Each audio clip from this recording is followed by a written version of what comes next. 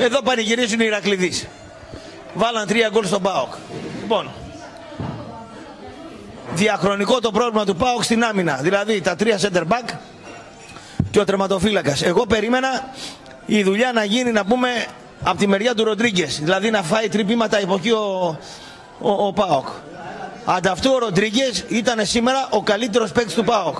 Ο καλύτερος παίκτης του ΠΑΟΚ. Ε, σαν back half.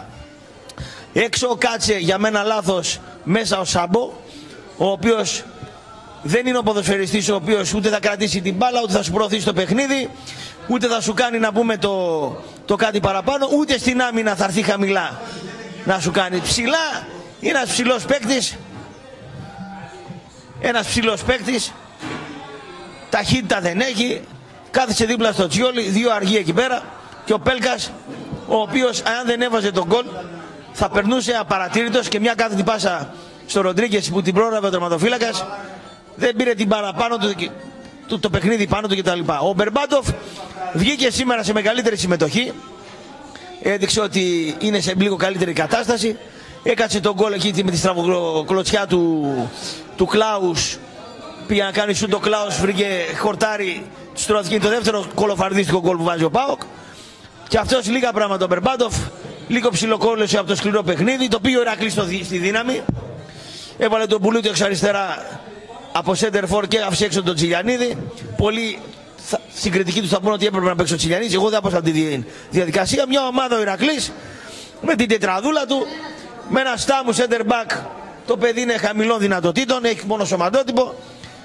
Στο πρώτο γκολ του φεύγει ο Μακ με στροφή, δίνει στο Λεόβατς και χώνει τον Μπέλκα κάνει τον γκολ. Ένα μακρύ μικρό δυνατοτήτων, δυνατό παιδί αθλητής, ψιλογρηγοράκος ξέρω και τα λοιπά. Γιώργο, πήγες καυτατζόγλιο.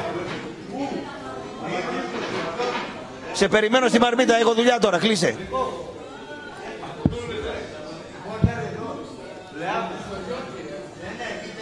Με έναν Ιτζόγλου Προσπάθησε, για μένα ο καλύτερος παίκτης του Ηρακλή ήταν ο Σαραμαντάς με διαφορά.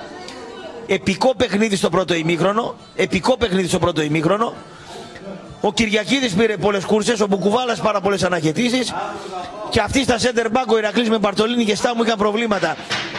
Γενικά τα center back και των δυο ομάδων είχαν μεγάλα προβλήματα. Ο Πάοκ διαχρονικά το έχει, ιδιαίτερα στον αέρα, έχει, και το έλεγα στη διάρκεια του παιχνιδιού, δεν μου αρέσουν τα πολλά στημένα χτυπήματα. Τους δίνεται πολλά στημένα χτυπήματα τους τους Ηρακλειδεί και βγήκα δικαιωμένος στο τελευταίο λεπτό. Ο Πάοκ έδειξε μια αλαζονία στο τελευταίο τέταρτο.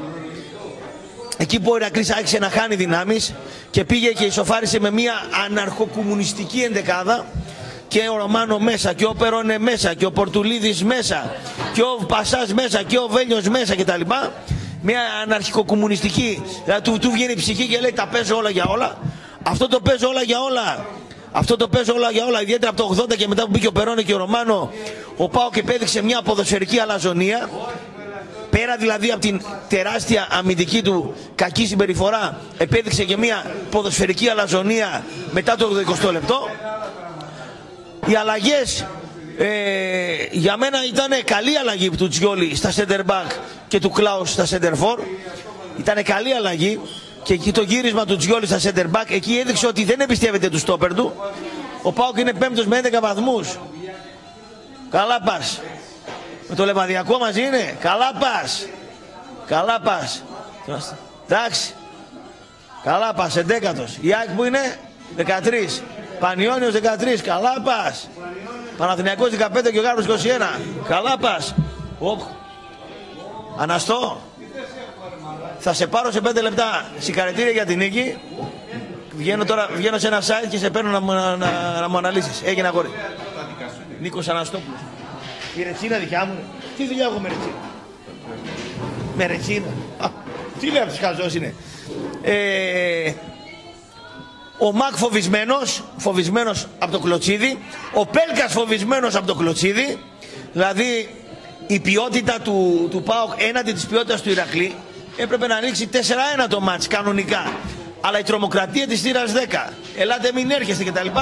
Έκανε το καφτατζόγλιο έδρα, ένα καφτατζόγλιο όμως το οποίο ήταν ψιλοάδιο. Ψιλοάδιο, δεν ξέρω αν το μας το είδατε, ψιλοάδιο. Είχε δηλαδή μια δεκαπεντάρα, παραπάνω δεν είχε. Όχι, όχι, 12-13. Δηλαδή μεταξύ 12 και 13 χιλιάδες κάπου εκεί ήταν. Δεν ήταν παραπάνω. Αυτοί εδώ κάνανε έδρα. Και φοβήθηκε ο Μπερμπάντοφ, φοβήθηκε ο Μακ, φοβήθηκε ο Πέλκας.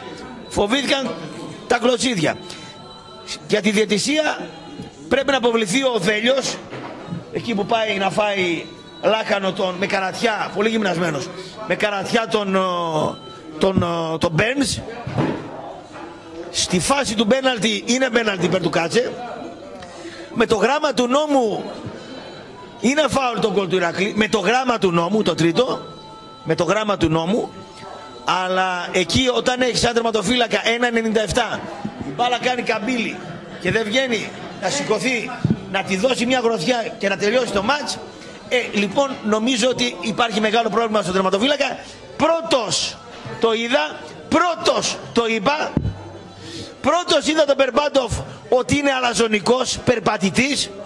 Αυτά τα γκολ του στυλ γίνεται λόμπα. Ε, πάω στη μικρή περιοχή βάζω το ποδάρι. Άστα. Άστα αυτά τα γκολ. Αυτά τα βάζει και ο Κλάους. Έκανε μια ψηλοσυμμετοχούλα στο περπατιστό, βγήκε έξω, έφαγε τις κλωτσιές του. Δεν έδειξε την 7η αγωνιστική ότι μπορεί να πάρει τον Πάοξ στις πλάτες του. Το γκολ που βάζει είναι μεγάλη κούρσα του Ροντρίγκες και μεγάλη διαγώνια πάσα στον uh, Κλάους. Μπερμπαντιά του, ζεμπεκιά του Κλάους και πάει μπάλα στον Μπερμπάτοφ και κάνει τον γκολ. Ο Ηρακλής υπερέβαλε δυνάμεις, υπερέβαλε δυνάμεις, υπερέβαλε δυνάμεις ο Μακρύς, υπερέβαλε δυνάμεις ο Ιτζόγλου. Περίμενα περισσότερα πράγματα, περισσότερα πράγματα από τον Πασά. Ο Βέλιος, ο γνωστός Βέλιος, ε, ο οποίος εκμεταλλεύεται το λάθος του Σάμπο και τριπλάρει, τριπλάρει τον Κώστα. Δηλαδή ρε φίλε, να σε τριπλάρει ο Βέλιος, να σε πάρει ο Βέλιος κεφαλιά να σε πάρει ο Βέλιος στη δύναμη γιατί είναι γαϊδούρι, να σε πάρει ο Βέλιος στο, στο εκτόπισμα, να σε βάλει γκολ, να το χαρώ. Απειδείξει δηλαδή να με βάλει μέσα, είναι γαϊδούρι. Αλλά, αλλά, να μου κάνεις τρίπλα, έχεις πρόβλημα λοιπόν Κώστα και ψηλά και χαμηλά, έχεις πρόβλημα Βίτορα ψηλά, έχεις πρόβλημα Τσαβέλα ψηλά. Και, έχεις, και έρχεται ο Τσιόλης να καλύψει το πρόβλημα. Με το 3-3 ο Παπαδόπουλος στο Άβελ πάει μπουζούκια και ο Τούντορ δεν βγαίνει από το σπίτι του. Διατηρήθηκε το αίτητο, διατηρήθηκε το αίτητο και το suspense ήταν πάρα πολύ μεγάλο. Για κάποιους πονηρούς το 3-3 όπως κάποιους Ολυμπιακούς εντάξει, άστε τους στην αμφιβολία τους.